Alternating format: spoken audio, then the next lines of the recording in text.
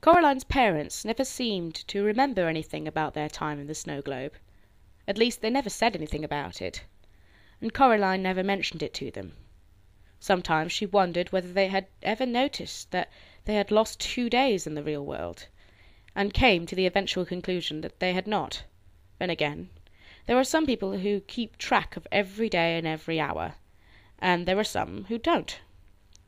And Coraline's parents were solidly in the second camp.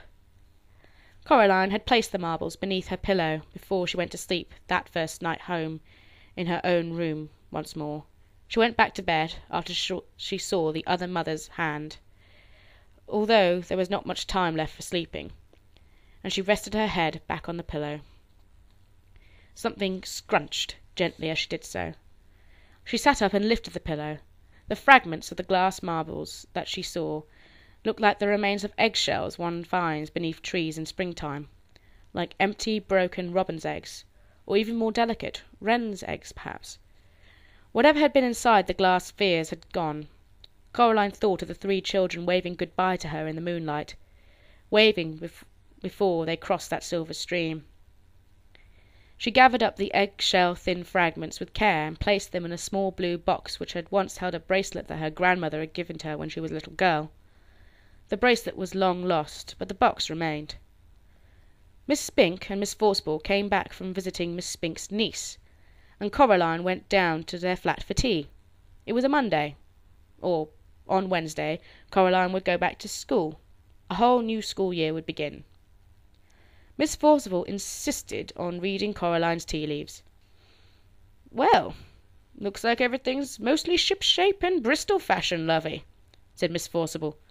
"Sorry?" said Coraline.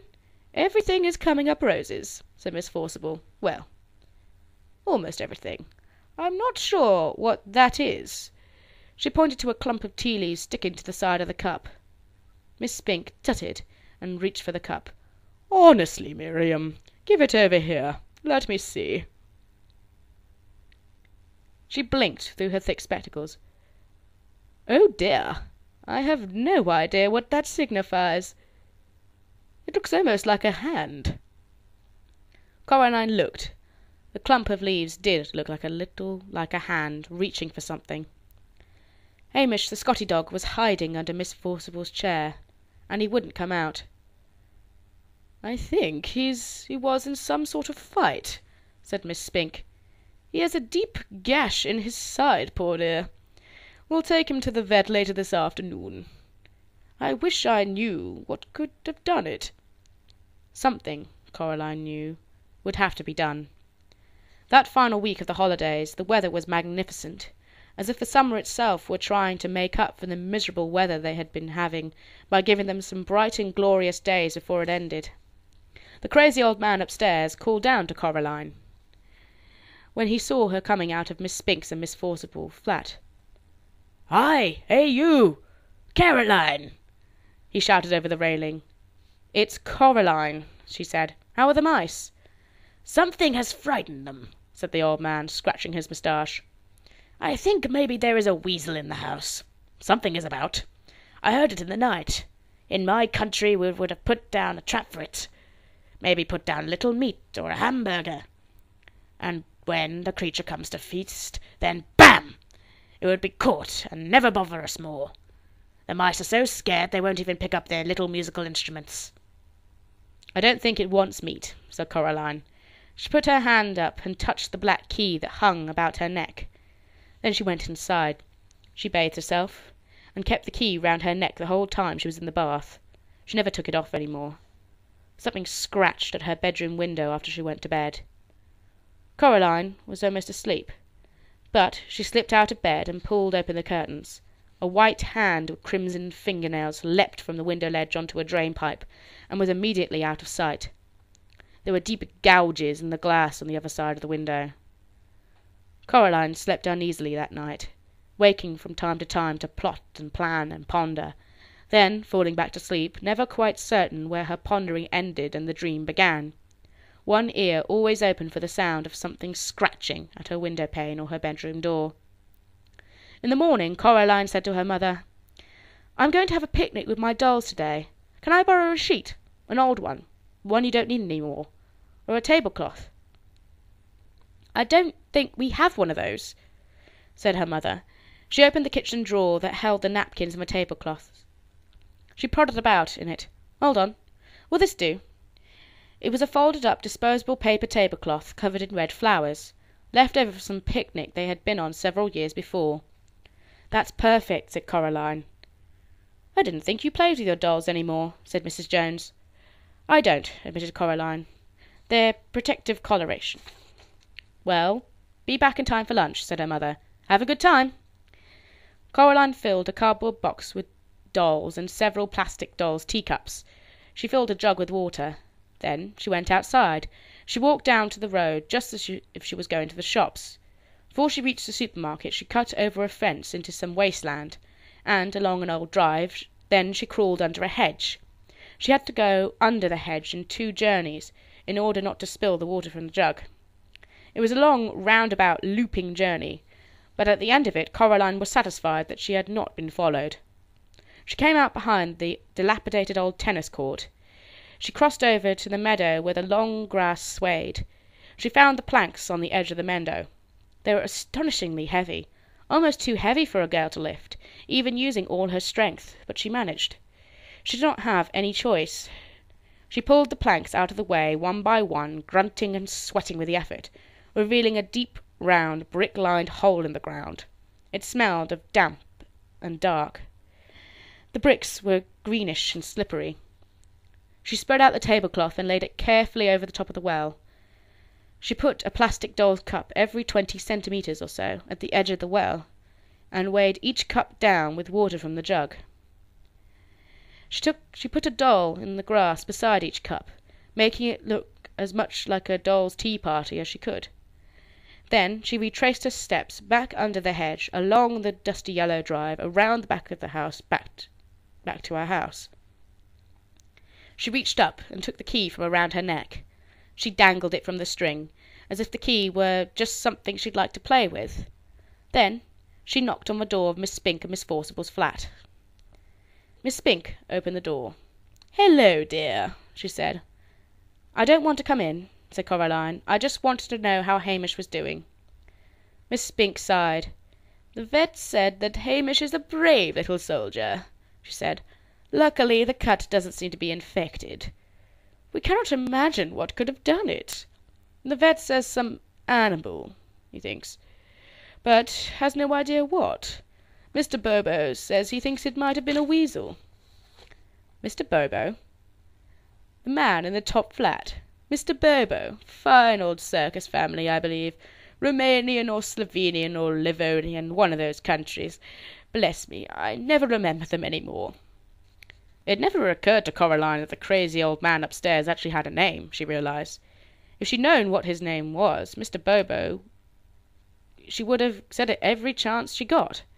How often do you get to say a name like Mr. Bobo out loud? "Oh," said Coraline to Miss Spink. "Mr. Bobo. Right.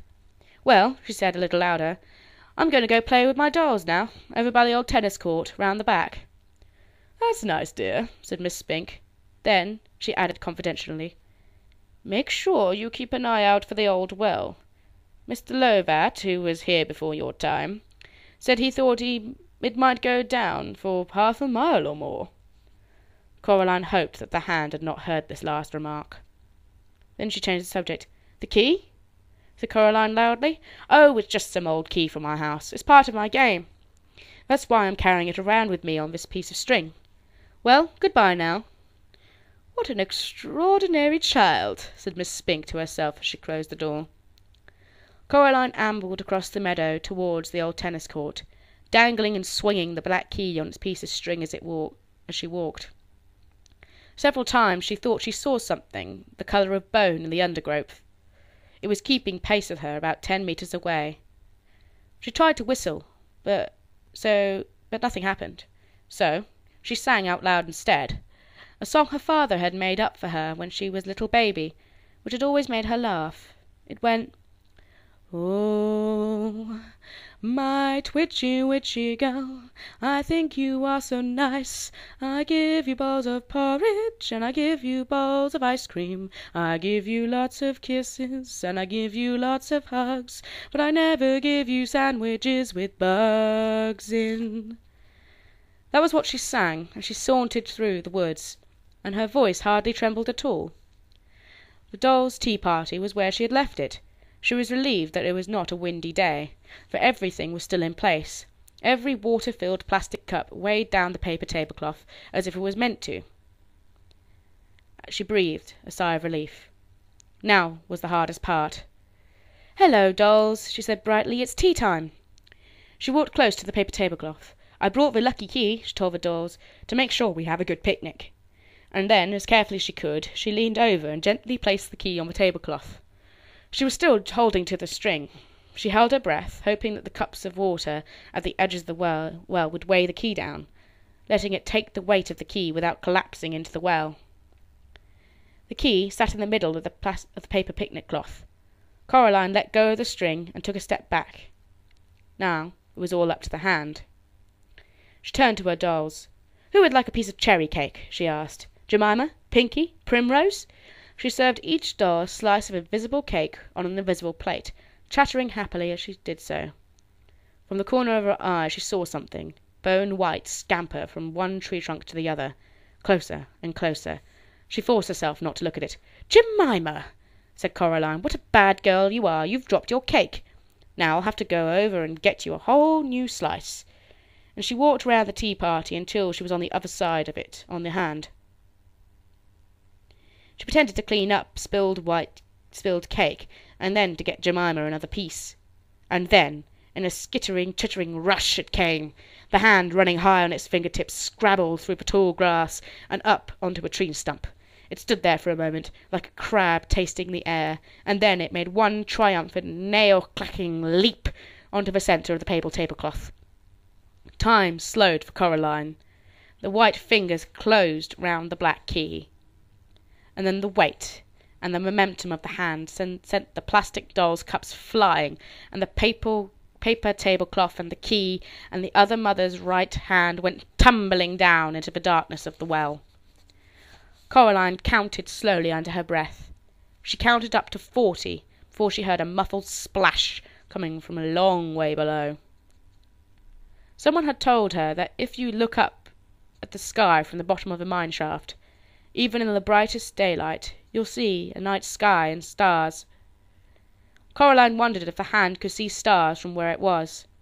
She hauled the heavy blanks, planks back onto the well, covering it as carefully as she could. She didn't want anything to fall in. She didn't want anything ever to get out. Then she put her dolls and the cups back in the cardboard box where she had carried them out in. Something caught her eye while she was doing this.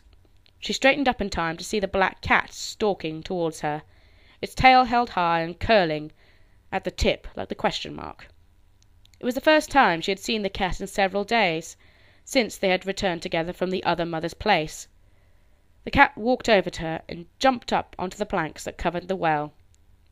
Then, slowly, it winked one eye at her. It sprang down into the long grass in front of her and rolled over onto its back, wiggling about ecstatically. Coraline scratched and tickled the soft fur on its belly, and the pat purred contentedly. When it had had enough, it had rolled over onto its front once more, and walked pa- back towards tennis court, like a pa- tiny patch of midnight in the midday sun. Coraline went back to the house. Mr. Bobo was waiting for her in the driveway. He clapped her on the shoulder.